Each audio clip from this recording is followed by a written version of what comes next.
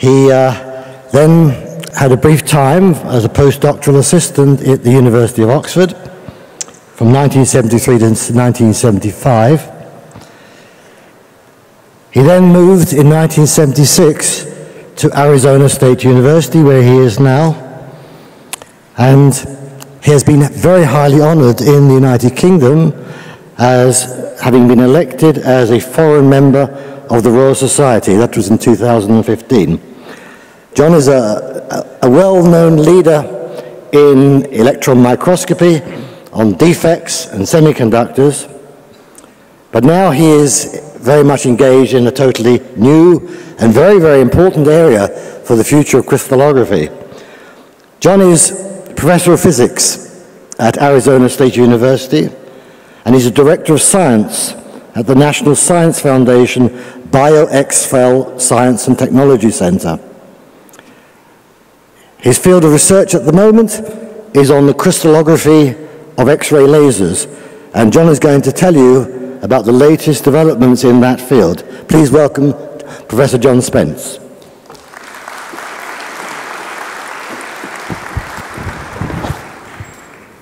Thanks very much, Mike. And thanks to the organizers for the invitation and the great honor to give this talk. It was Richard Feynman who said, that all living things can be understood in terms of the wiggling and jiggling of atoms.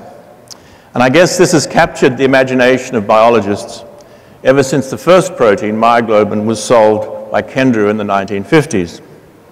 But I remember as a student in 1970 reading a paper by Breedlove and Trammell in Physical Review Letters where they said that single molecules will never be imaged because the radiation dose necessary to do it would destroy them.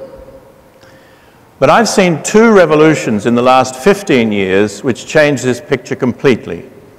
The first is lensless imaging, that is, successful solutions to the non-crystallographic phase problem that we can use for diffraction from individual single particles. And the second is the discovery that it's possible to outrun most radiation damage. So I'll talk about what we can use these breakthroughs for, to make movies of molecular machines at work, movies in some sense. And I'll use some highlights for that um, from the BioXFEL consortium of seven universities in the United States. Uh, we, we, were funded by the NSF to devise, develop and apply the X-ray laser to structural biology. The XFEL works by jiggling electrons sideways as they pass through a linear accelerator, producing X-rays in the forward direction.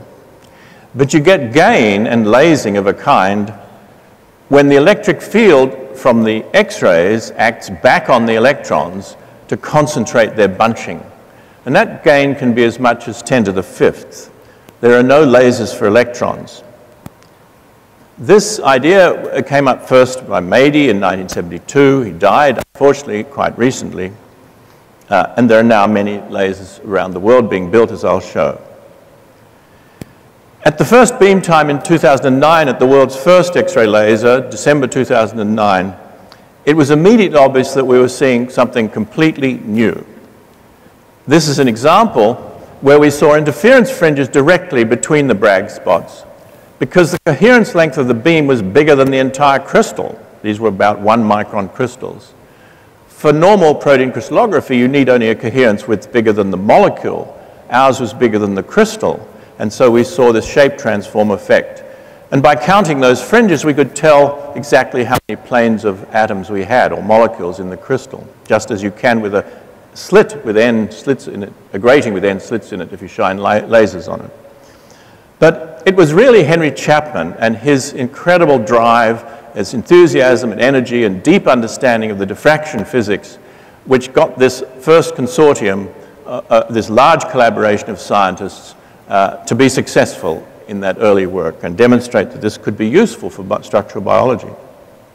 So I'll talk about making molecular movies um, and the main point, I suppose this is the main point of the talk, as we've heard in some of the micro symposia, is that because you can outrun damage you don't need to cool the sample uh, to avoid damage, and therefore you can study proteins at room temperature under physiological conditions in the correct thermal bath. That's the main point because molecular machines need both the stochastic thermal fluctuations, they need to be battered by surrounding waters, together with the energy available from ATP to do their job. And so we have the chance to do that now, to separate the effects of the, the intrusive effects of the beam uh, from the chemistry. We want, to, we want to reduce mechanisms to chemistry, as Crick once said. And we can do that now because we can separate the two effects. So there are different time domains and uh, techniques and length scales involved from the fast electronic processes to the much slower processes involving diffusion and particularly entropy as a term in the Gibbs free energy. Uh, it, to, taking, to, to find the, that macro state with the largest number of microstates uh, takes a while, and molecules take a while to find each other in solution. So our time scale is enormous, from femtoseconds to seconds, as you'll see. Why would you use an XFEL for structural biology? There are many reasons given here. I've mentioned outrunning radiation damage, collecting the X-rays before the cascade of photoelectrons vaporizes the crystal. They either, for very small crystals, escape the crystal entirely, in which case the crystal explodes by a Coulomb explosion. You leave it strong with a strong positive charge. Or if a large, with a larger crystal, the, where the range of the secondary electrons is smaller than the crystal, they'll thermalize and take the temperature very high above the sun, in fact, temperature of the sun. So the problem then is a bit similar to the design of the atom bomb. There, there are similar rate equations, and you have a critical mass, just as you do for the atom bomb. Um, why would you use an XFEL? We, can, we, we have better time resolution, sometimes important in, with electronic processes like photosynthesis. We can study non-cyclic reactions. Uh, we can study very small crystals. It's, all, it's not that you cannot grow larger crystals, it's just it takes so long. Petra Fromme once told me it took her about six years to figure out how to grow crystals large enough in Berlin back in 1998 for crystallography, for synchrotrons even after she had showers of microcrystals. So it's the, the time. Uh, and two other very important points. These crystals are so small that they're saturated by light from the pump laser. So we, something very difficult to do with large crystals. And diffusion times are small because the crystals are small. And so uh, we can do diffusive mixing, and as you've heard in the microsymposia. That's really important, turning out to be one of the main important features. Why is time-resolved imaging itself important? Well, this has been uh, criticized in the literature. I know there's controversy about this, um, but I'll just mention two reasons. There is the idea that stable intermediate phases could be used as drug targets. Secondly, as Keith Moffat has pointed out, if we can test our models at much higher time and space resolution, then they provide more severe constraints on the molecular dynamics. We can test the potentials in molecular dynamics if we can get better time resolution and spatial resolution. So I'd like to start with this issue of reduced damage because it's very difficult to, show, to compare work at a synchrotron and an XFEL. There have been papers uh, famously trying to do that. I think the most convincing work is this work uh, from the Californian group recently published in PNAS. What they did was the following. They looked at the reduction of a heavy atom, meaning that it has too many electrons, produced by the X-ray beam, unwanted electrons. Um, they compared the reduction of heavy atoms in a protein at a synchrotron and the same sample at the XFEL. And their finding was that XFELs cause less reduction of heavy atoms than synchrotrons. I'm putting it very crudely to get your attention. How did they do it? It's very careful, quantitative, uh, thorough work. They use bond length, as people have often done, as a proxy for a charge state of the iron, the oxidation state of the iron Fe atom, which goes from 4 plus to 3 plus. And they make a plot of dose against bond length. It's shown here. Do I have a pointer? I do. Ah. Right. Okay. Can you make it work? Oh, okay.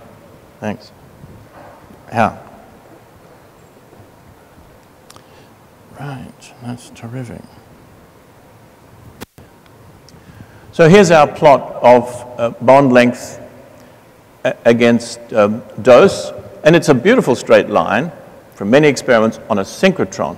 They then take that sample across the same material to the, the LCLS uh, and repeat the experiment and find that taking these very brief snapshots, they get a bond length which agrees only with the very lowest dose at the synchrotron. That is the dose that corresponds to the natural correct chemical state of the iron atom.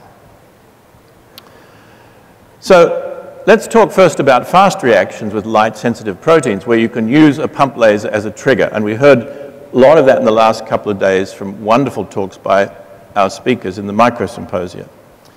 Uh, we use the method of crystallography, and that has origins long ago. Uh, Bruce Doak and I started thinking after urging from Henry Chapman uh, to develop a sample delivery system for the LCLS in the early 2000s. But it didn't really start to work till we got these sort of patents from MS2 viruses at the ALS uh, around 2008. But you can pump those samples, so this is what that looks like. Uh, as you've seen, this is the gas dynamic virtual nozzle where we have a high pressure stream of gas which is focusing down this stream of liquid. We do that to avoid clogging. It took us a few years to figure out that that was the way to beat the clogging problem. And down here is an image of the way it breaks up into droplets according to the theory which Rayleigh published in 1890, which is relevant to sort of a tap dripping, a faucet dripping. Uh, and you can see over here I've shown the uh, pump laser here coming in, exciting the molecules shortly before they get their snapshot taken further downstream here with a Bragg beam going off to the side. So I'll show what uh, I'll show uh, some of the work from uh, Marius Schmidt's group, which you saw from Pandi this afternoon. This is photoactive yellow protein at 1.4 angstrom resolution. A pump probe studies. It's a light-sensitive protein. Uh, it, it's not the same as photosynthesis. It uses light detection to affect its, its uh, survival. And we've taken the Bragg spots at different time delays. So each time delay between when you excite the molecule and when you take its snapshot is a different frame in the movie. And for each delay, you need to collect lots of diffraction patterns in every orientation to make a three-dimensional charge density map. So the little microcrystals, they're typically a couple of microns, are tumbling across, sprayed across, hydrated across as they run across the pulsed X-ray beam. And we read out about 120 frames, diffraction patterns per second at the LCLS. It'll be more like 10,000 at Hamburg when uh, the European XFEL starts shortly. So the image is being rocked just to show that it's three-dimensional. And the colors here correspond to the colors in the reaction pathways shown on the left. And you'll see that there are two of those.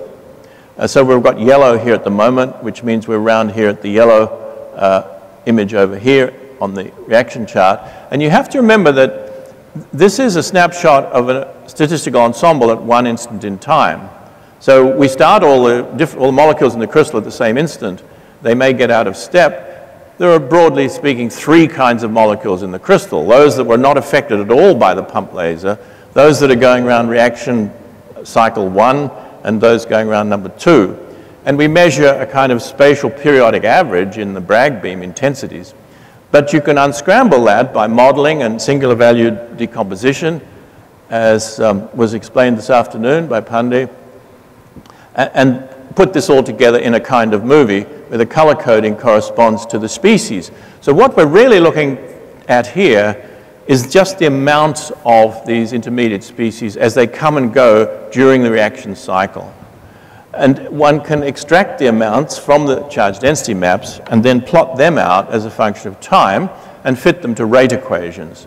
Those rate equations typically show exponential behavior, and they're shown here. This is the amount of species PRT, which was one of the colored molecules in the previous movie, as a function of time. And you see the amounts change as the reaction proceeds.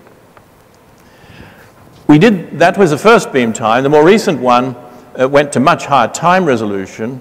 Uh, Marius was able to get times down to about 150 femtoseconds So this is very, by the fastest that's been done. And the important process there is a cis-trans isomerization reaction. Bottom is orthogonal projection. Time, the time between pump and probe is given at the bottom, time sequence along here. And the cis-trans reaction occurs about, a rotation about this axis, which I've identified here with a dotted line. So this, to the left of this arrow, it's all trans, and on the other side, it's uh, cis. And this is an example, as we heard, of a conical intersection where there's a degeneracy in the nuclear coordinates. You have the same nuclear coordinates for the excited and ground state. So again, from that you can work out uh, the amounts uh, of species that come and go and, and understand in detail the, chem the, chemical dynamics. But we knew that it much more important, not all proteins are light sensitive, and it was most important to try to extend these methods to mixtures, experiments where two solutions mix in, in solution. For example, a substrate and an enzyme.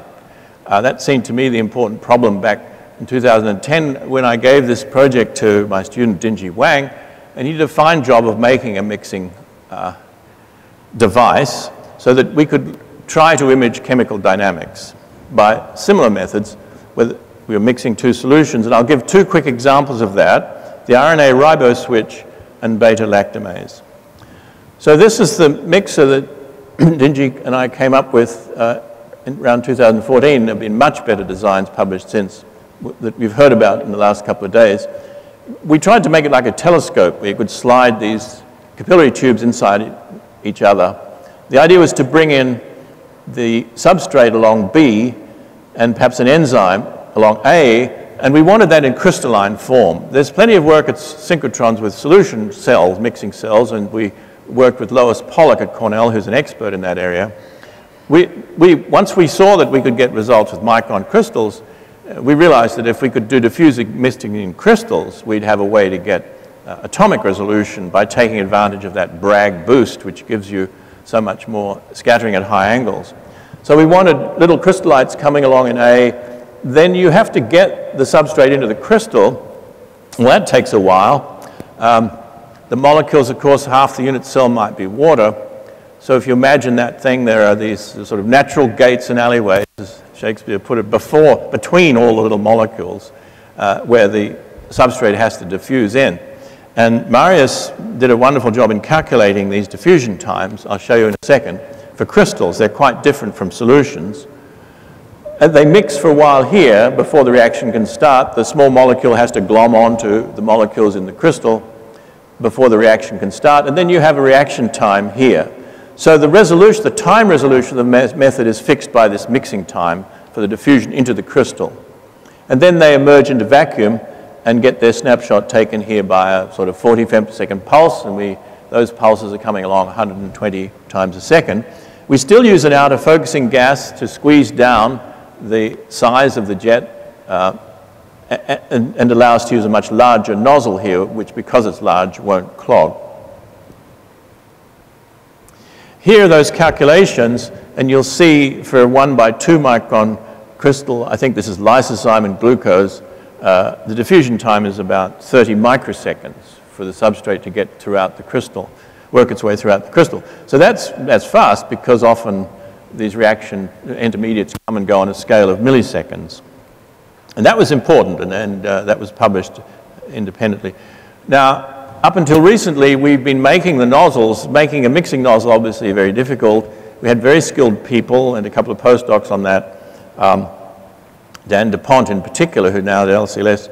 But recently I got a grant from the NIH to buy a most wonderful piece of apparatus. Uh, it's a 3D printer. You, I'm sure you know that the Nobel Prize went for super resolution optical imaging a couple of years ago. Um, well, of course, if you can image with super resolution, two photon methods, for example, you can print with super resolution. And that's what this nanoscribe machine does with about 200 nanometer spatial resolution. And it's 3D, and the wonderful thing about it is it, it will make anything you like that you can give it a CAD drawing for, uh, and it liberates you from the two-dimensional uh, the um, planar lithography limitation, the prison, as it were, of the semiconductor industry in lithography. You can make arbitrary three-dimensional shapes. So for trying out ideas and prototyping, it's absolutely a wonderful thing. And we make our mixing jets and other structures that way. So this just shows a, a GDNV, gas dynamic virtual nozzle, with the gas and the fluid flows here that we made with this gadget. You can give it a CAD drawing of the San Francisco Golden Gate Bridge and it'll go whir, whir, click, click for a few hours and spit out a tiny perfect model of it that you can barely see. Now, Alex Ros at ASU in the chemistry department has another scheme. We heard some fabulous schemes today. Uh, the conveyor belt system, the droplet system, uh, the Roadrunner scheme at CS at, in Hamburg. These are excellent ways to do business. Uh, Alex's idea is to, as it were, mix oil and vinegar. And when you do that, you get little droplets because they're immiscible. And she can vary the rate at which they're spat out into the vacuum to the X-ray beam.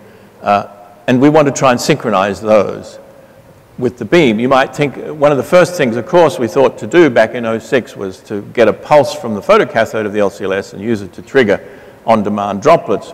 But uh, we found, we, we tried that, and we found it only worked for very big droplets, bigger than about 30 microns. So we thought we wouldn't get anything funded that way because they'd tell us you could do the work at a synchrotron. Um, but it, for the reasons we heard this afternoon, that was bad thinking, and um, the, the value of outrunning damage is uh, more important. So I think this is quite a good way to go, and we'll try this out in a few weeks. My second example of mixing, or uh, sorry, first example of mixing then, is gene expression regulation. And this is a collaboration uh, with Yun Wang at the National Cancer Institute. This is a wonderful mechanism where nature uh, achieves modulation of protein production in response to an environmental change. So this is not molecular evolution at all over generations of DNA. It was proposed long ago by Monod in 1961 and confirmed experimentally around only recently around 2002. So the messenger RNA, uh, one domain of that is called a riboswitch, uh, picks up a molecule, in this case uh, it's adenine, and that ligand binding then uh, can switch off the mRNA function in uh, stimulating protein production over at the ribosome shown here. So it's something that happens between transcription and translation. Uh, and Wang wanted to see this. The question was, could we make a movie of this, of this process? It would be very important because this environmental response. This is what all organisms are going to do with global warming or something like that. Or, so and it's different from epigenetics and, and so forth. The, the, well, that's a long story. So here's the result after a long mixing time, and you see the, um, the open and closed forms. Here we've imaged them from their charge density maps with a mixing apparatus, and over on the right here, after a long uh, time, after 10 seconds, you see the adenine shown in red here. Uh, the full mixing time is about a minute, and we have in another paper the fully reacted state, which is different. So this is a partial reaction after 10 seconds in gene expression regulation. The second example is again Marius Schmidt's group, uh, and he was interested in beta-lactamase's effect as a, uh, in antibiotic resistance. So the beta-lactams are a class of antibiotics. They're derived from penicillin originally. And of course, with time, uh, resistance has evolved in the form of an enzyme, beta-lactamase. And we'd like to see that happening, make a movie of that, to see them un understand the mechanism. So again, we only have one frame at this in this published paper. More recently, we've got more data. But you see here, the beta-lactam uh, beta-lactam antibiotic is in this position and this position over here, and the remainder of this loop uh, is the lactamase, the enzyme. But in a subsequent beam time, we were able to get more data and get uh, a total of four frames for a movie at different times. So this is, uh, I think, 30 milliseconds, 100 milliseconds, um, 300, 500 milliseconds and two seconds. The times are given here. So this is time going down this way. This was one type of crystal, and over here is a different type of crystal for the same molecule. Uh, these are two of the sites in the molecule and two subunits.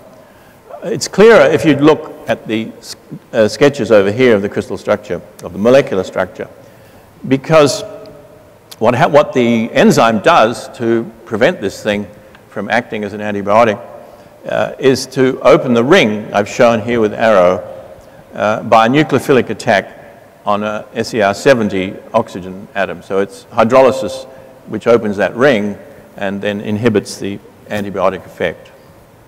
So this is important because it's a one pathway reaction. It's irreversible. And that's because we destroy every crystal each time we look at it. This is great for irreversible reactions, which of course are the majority of the catalytic processes in, in the human body. Uh, you just, you know, you do the thing once and get a snapshot and then you bring in a new sample and do it again. Quite different from the mode of operating with large crystals at a synchrotron. So what we want to do now is expand the range of triggers, and that's the plan. The BioXFEL has been going for four years. We'll come to the beginning of the second five years next summer, um, unless our funding is trumped in some way. And then in the second five years, uh, we, we hope to expand the range of triggers for these sorts of experiments. I've given a list there. The aim is to extract the kinetics, uh, kinetic mechanisms, rate coefficients, barriers of uh, activation, and the structures of intermediates. Um, you can imagine other triggers such as heat jumps have been tried in the past, caged molecules.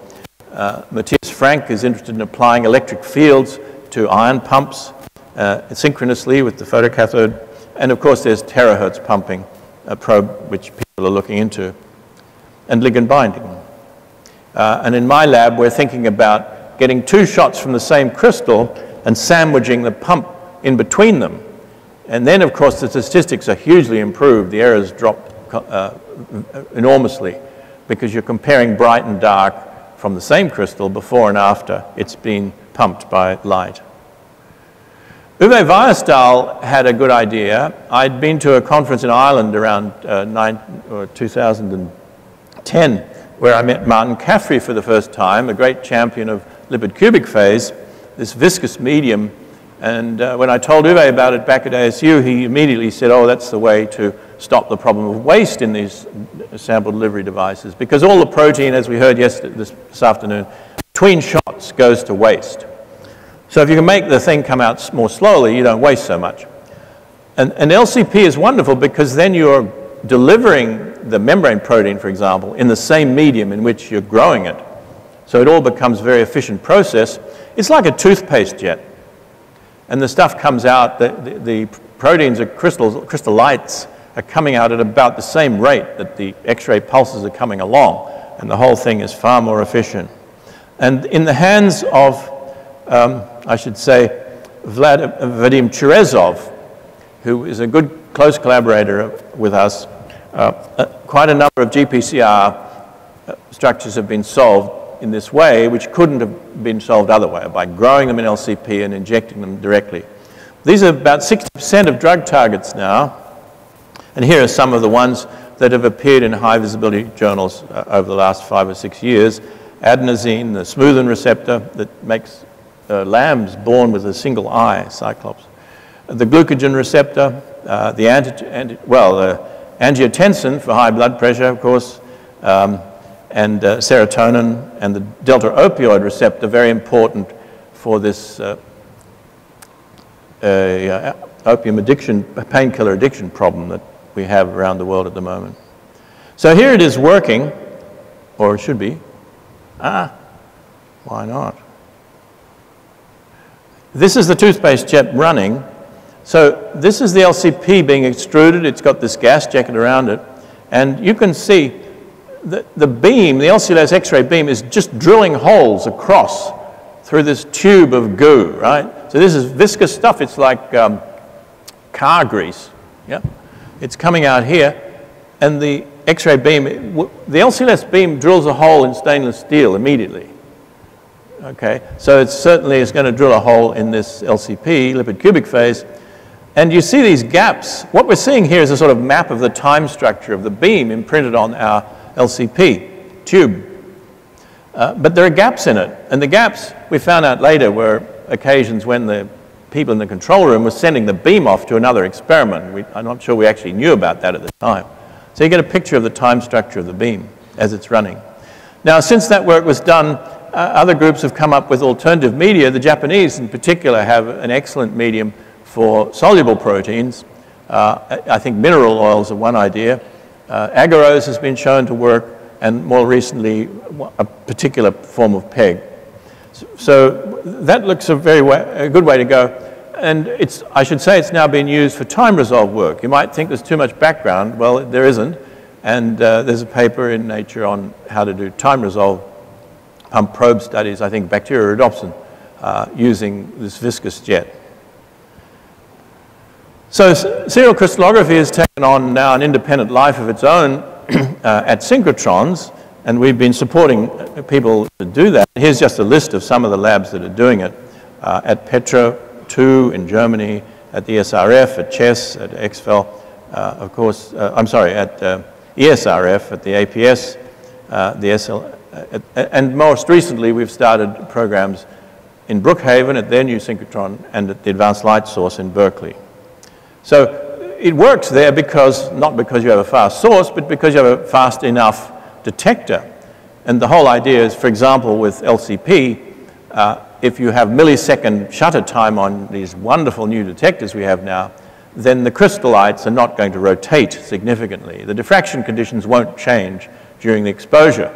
So we're doing what Rossmann, Michael Rossmann once described as the American method, shoot first, ask questions later and uh, don't forget about goniometers. So you work out the orientation of the crystal with clever software later on and just collect data continuously with one of these jets. And, and as the diffraction upgrades are being implemented around the world, uh, so I think serial crystallography is becoming more and more popular. It's just a more efficient way to do business. Now, this is a plug for Henry's talk on Monday morning.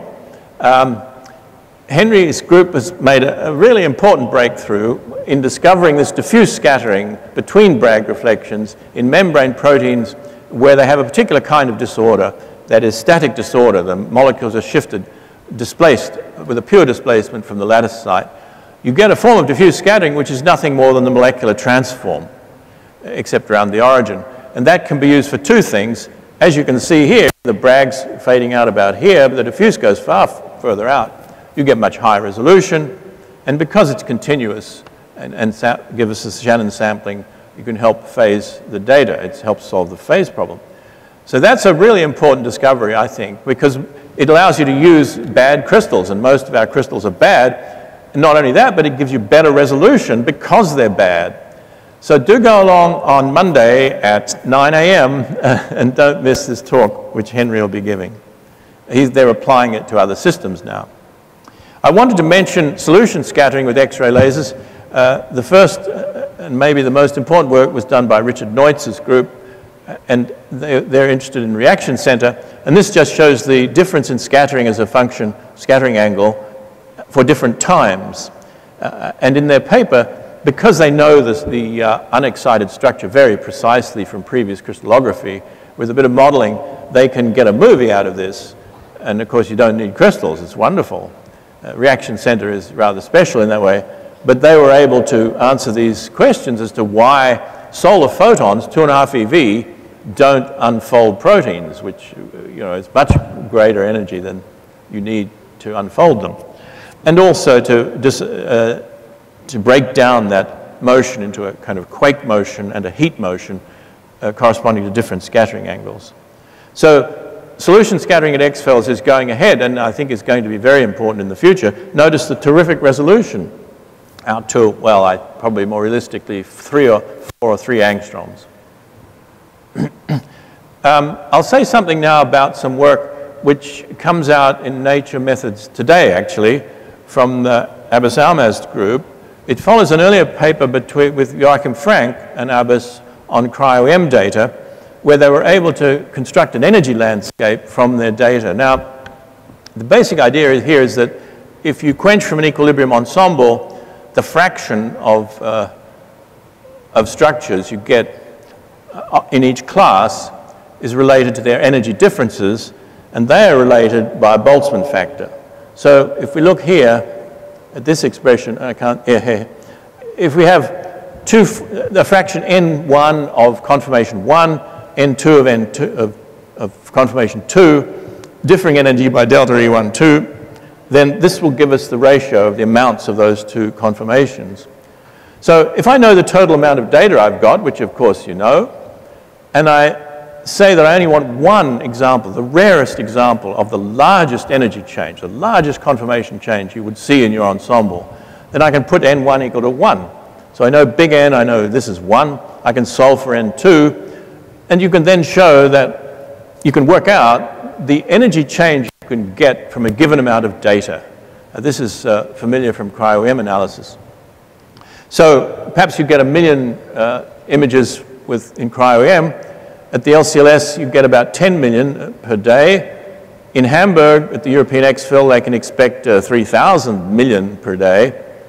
If I convert those to energies, this is 8 kT and this is 18 kT, which is more than the energy per ATP.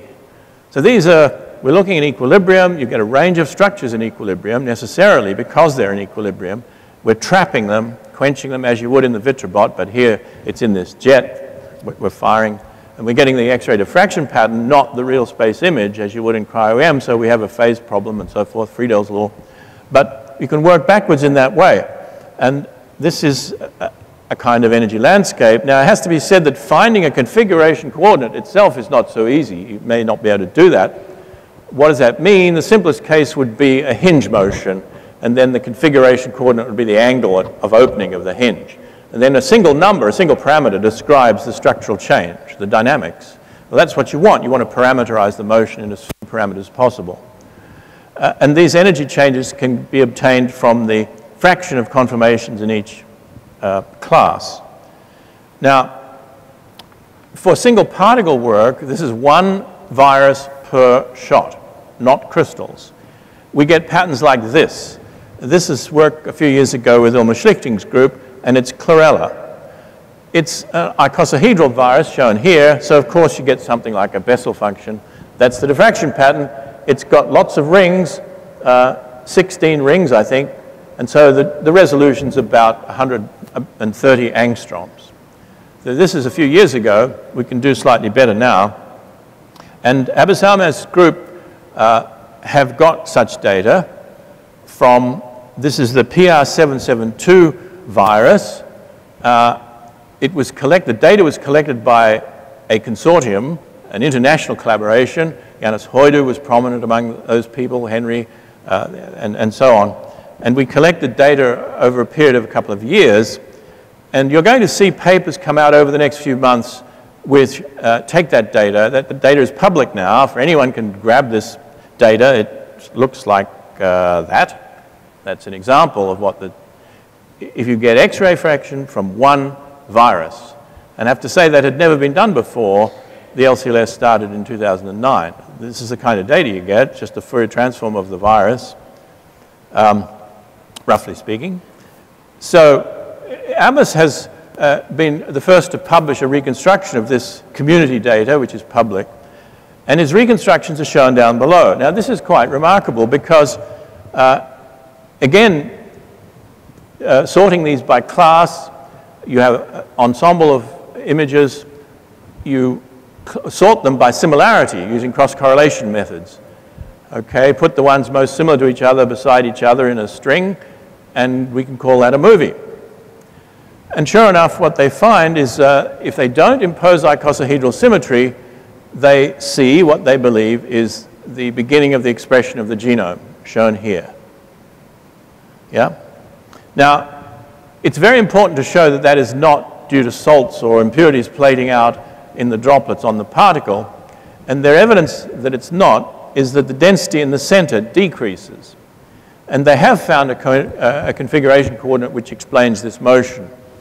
Now, the resolution here is about 80 angstroms. That's what um, uh, was talked about. Ruslan was talking about a single digit resolution. It's, it's uh, I think, 8 nanometers which has been an important milestone for our project for the last years. So this was assembled from 30,000 shots. As I say, the resolution is, is much, is 9 nanometers. You can remember these numbers easily. You know, in uh, cryo-EM tomography, if we're very, very generous, we could say they have a resolution of about 1 nanometer. Here's 10 nanometers. And the super resolution optical in the hands of someone like Eric Betzig is 100 nanometers, which is a tenth of a micron. So it goes 1, 100, 110, 100. Uh, and of course, the super resolution optical is the only one where you can get images of living things uh, at high speed, but they have a radiation damage problem too. So these are all different complementary approaches, uh, and this would, I think, you, they claim, it's a reasonable claim, it's the first conformational movie of a virus by any technique, the first determination of reaction coordinate for the extrusion of the viral genome. They have an energy landscape similar to the one I showed, uh, and it has the potential to access the transition states that, that, are rate limiting in this process of genome extrusion by single particle FEL. So I think that's a, a really an amazing result. I haven't said anything about data analysis, but again, I want to give a plug to Tom White, who's here. He's the author of the main data analysis package, the most popular one that's used worldwide for uh, serial crystallography. It's called CrystFEL, and he's giving a class on that on Saturday at 3.15, so please go along. The short story here is that uh, lots of people around the world have made contributions since we started back around 2010. Rick Kirian, Tom White were the originators of this. Uh, and the error in your structure factor measurements, this is R split, falls off as the square root, one on the square root of the number of shots. It's a uh, Poisson process which has the unfortunate property that you need 100 times more data to add one significant figure. 100 times more data to add one significant figure. So it falls off as 1 on root n, and this is experimental data fitted to number of diffraction patterns. And there's a constant k, and we can summarize the research over the last uh, seven years by just saying that the value of k has dropped dramatically in the hands of people like Helen Ginn and, and Nick Sauter and uh, other groups around the world that have contributed, and Tom particularly, uh, to improving the iterative refinement process with modeling that goes into dealing with this data. It's a long story and we don't have time for it, unfortunately. Um, so let me move towards the end now by just mentioning a couple of new ideas. The first is that we're building an X-ray laser on my campus at Arizona State University near Phoenix. and this is the plan of the machine. I understand this is not a conference of accelerator physicists, but what is remarkable about this machine is it's so small and it's so cheap. So we use a very short LINAC here, electron accelerator, it fits on a bench top. Uh, and we, the basic idea is to use a laser as the undulator. I'll explain why that's a good idea in a moment. Uh, so the cost has come down from the 600 million for the LCLS to about 6 million for one of these machines, which fits in a very large room. So let me just say that this method, this machine is based on the inverse Compton effect. Uh, and that's rather different from the SASE mode of the LCLS and the other X-ray lasers. And I can explain why we save so much money here uh, as follows. With Wiggler radiation, the X-ray wavelength is equal to uh, the wiggle period divided by the electron beam energy. It's easy to remember. So at the LCLS, they have magnets a few centimeters apart, which wiggle the electrons sideways as they go down the beam. Uh, that makes an oscillating a dipole radiator. If you accelerate, charged particles radiate, as we teach our students, and you get X-rays in the forward direction. The wavelength of the X-rays, again, is that wiggle period divided by gamma squared, which is the electron beam energy. Now, if you could divide top and bottom of that expression by 100 or 1,000, you'd have the same X-ray energy. Uh, and we do that by using an optical laser to wiggle the electrons. So the wavelength of light then becomes the wiggle period. It's half a micron.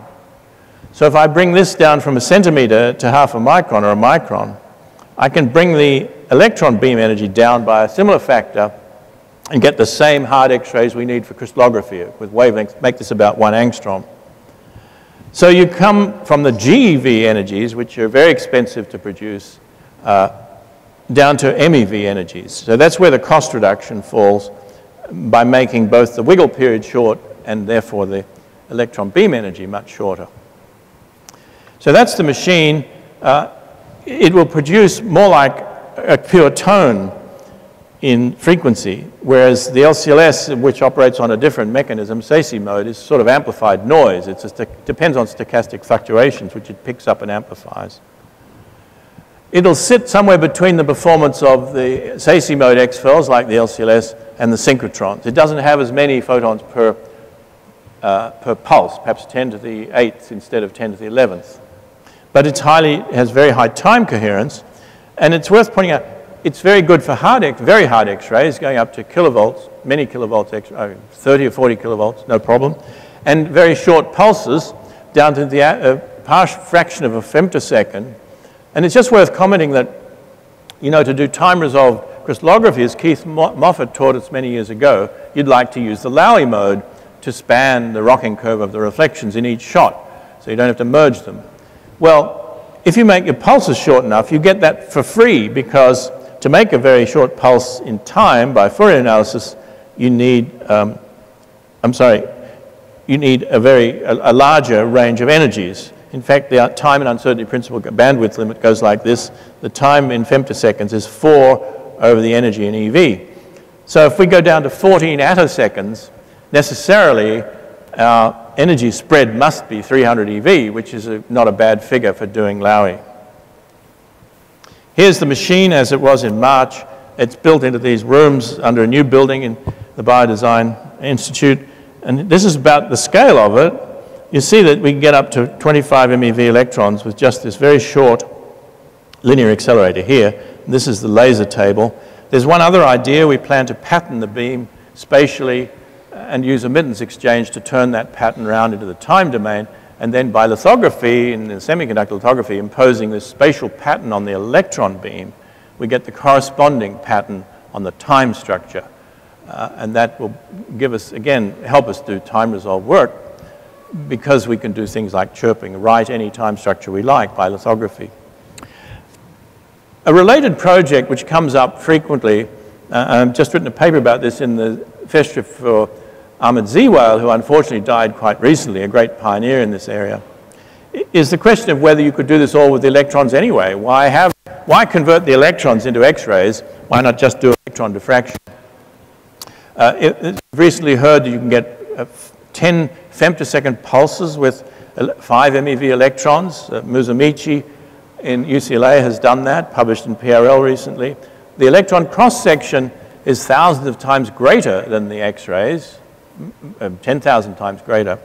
But on the other hand, the XFEL has gain, and those two factors sort of cancel out. There are no electron lasers, but you can get a gain of 10 to the fifth with the X-ray laser. So there are other issues uh, and to be compared in detail, and I can just summarize by saying the situation, because of a thing called emittance, is completely hopeless for single particle imaging, and it might work for proteins if we could grow wide, thin proteins if you squeeze the electron beam down sideways, the electrons don't like that. The Coulomb repulsion drives them apart. And that gives you unwanted beam divergence. Now, if the beam divergence gets bigger than the Bragg angle, you can't do crystallography. So the product of the beam divergence and the beam size is constant. If I could work with a, I don't know, 100 micron beam, I could get very sharp Bragg spots and there'd be no problem.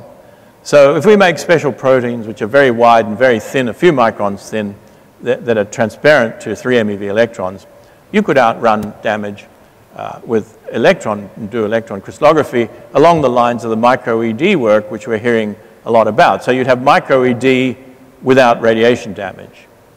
But if you want to squeeze your beam down to uh, a micron-sized crystal, you can't combine that with microcrystallography because then the, the, the Bragg spots enlarge and blur out. So I'll end with a completely new idea that Henry will probably say more about, uh, which has just been published in PRL by a young student, Anton Classen, who I was, uh, saw a lot of in my visit to Hamburg recently, uh, working in Henry's lab, and with his professor at Erlangen. And they've proposed that instead of detecting the coherent scattering from our viruses, we should detect the X-ray fluorescence because there's so much more of it. Okay? Well, how do you get an image of a virus by detecting the X-ray fluorescence? Uh, one can imagine a, a, spherical detector collecting all the inner shell, say the K X-rays from a virus sitting here, and you excite that by bringing in an X-ray laser pulse. Well, the theoretical part of their paper shows that if the X-ray pulse is brief enough, short compared to the lifetime of the X-ray emission, then all the X-ray emission from the different internal source atoms emitting K-shell X-rays are coherent and they'll interfere with one another. So you get a speckle pattern. Unfortunately, the speckle pattern is different for every shot because of some random stochastic phases that occur in the process, but their theoretical treatment, which follows along the lines of the Hanbury, Brown, and Twiss experiment, intensity interferometry, uh, shows how you can get them to wash out and gives the full theory for the case where the pulse duration becomes comparable with or longer the life, than the lifetime of the excitation. Now, these K-shell lifetimes are a few femtoseconds, so uh, people are building attosecond X-ray lasers at the moment. So with a one femtosecond pulse, you would indeed get uh, a strong interference. Physically, this is rather like asking whether waves of different frequency can interfere. The answer is they can, briefly. And they can interfere for a time if your detection time is short compared to the beat period. You can think about tuning a piano. If you detect the sound within one beat, you would get a coherent interference between the two waves. Uh, and of course, their theory is more, much more general than that. But, so uh, Henry has beam time to try out this idea early next year, I think, uh, and it'll be interesting to see what can be made of that. If it works, it will be terrific. You've Got more signal. Uh, in this arrangement, you get three-dimensional reconstruction in one shot because you collect all around a sphere, ideally. Uh, there's no direct beam to trouble us with this dynamic range problem that's such a problem in single particle imaging. You saturate the detector with the straight through beam.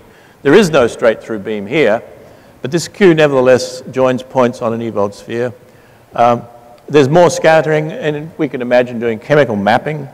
Uh, uh, if we tune into different points, you'd have to have filters and so forth.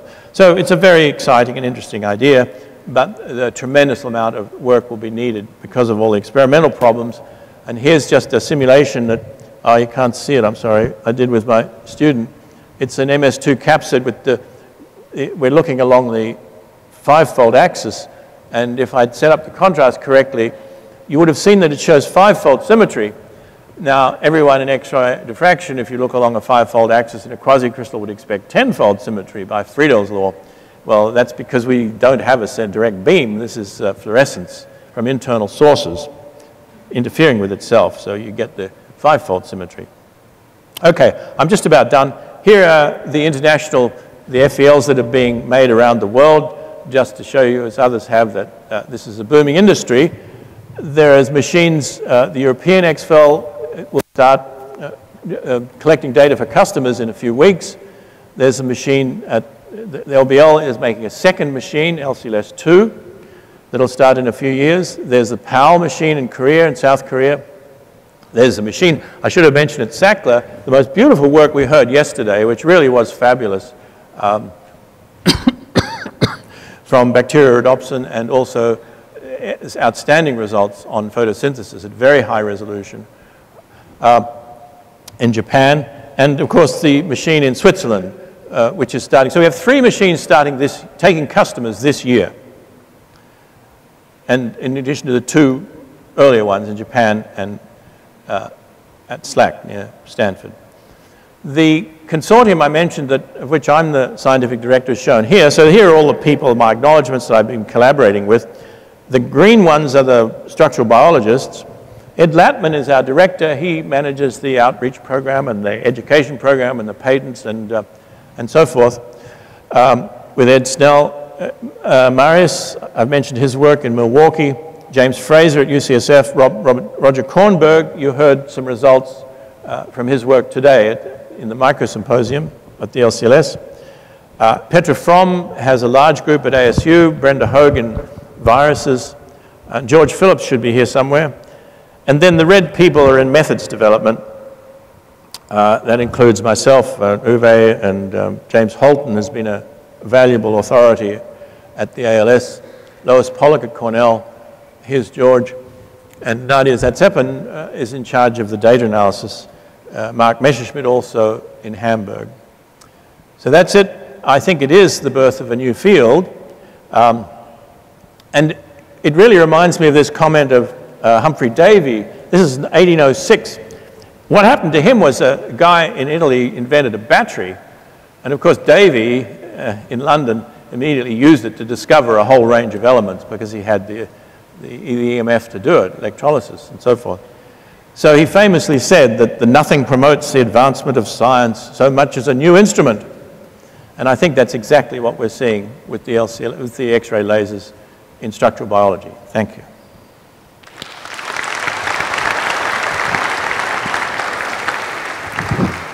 It's better and better.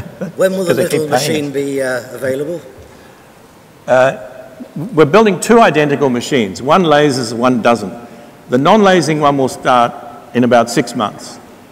To make it laze, we have to put this uh, beam patterning thing on the electron beam. That may be another year. Terrific. Uh, so anyone wants to build one for your campus, come and see me. we'll gladly give you the drawings and, what, and help. What is it, six million dollars? Yeah. It? Yeah, okay. Easy. Um, any questions? Thank you very much for nice, excellent review. And uh, I have a question about the, that compact uh, XFEL source. So the, um, what is the requirement for the uh, quality of the electron beam? For example, so such a case we can easily uh, estimate with uh, some of the Pierce parameters. So do, do you have some similar parameter in your scheme? I think the emittance is about 40 nanometer radians. Uh-huh, uh-huh, uh-huh. Uh, remember, this is inverse Compton. It's not, yeah. uh, the requirement is probably different. In inverse Compton, there is no gain. It's actually super radian uh -huh. mode rather than uh, gain. So you mean that you do not have some threshold, but uh, some the, you could much easier, you, you, you, you, you are saying much easier to have some. Much easier, -huh, yes. -huh. Yes, correct. Are there any other questions? Let's go and have, let's go and have dinner. No, in that case, can we uh, thank the speaker, John Spence, please? Excellent. Right. Excellent. Okay. And uh, Professor Banerjee will be coming up in a second. Oh. Okay. Oh, is this a... On behalf of the organizers, it's my honor to present a token of appreciation to the plenary speaker, Professor John Spence. Thank you very much. Wonderful to be here. Also, it has been really honored to uh, present a token of appreciation to the IUCR Vice President, Professor Mike Glazer. Thank you very much. Thank you. Thank you very much.